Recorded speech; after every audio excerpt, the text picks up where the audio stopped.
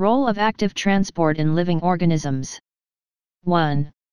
It helps in reabsorption of sugars and some salts by the kidney to the bloodstream. 2.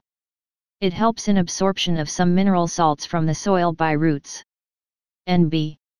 These are mineral salts that occur at low concentrations in the soil water than in the cell sap hence they can't be absorbed by plants through diffusion.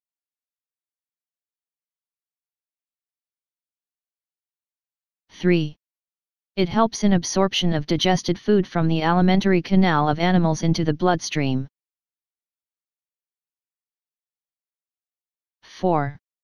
It leads to accumulation of substances into the body to offset the osmotic imbalance in arid and saline environments.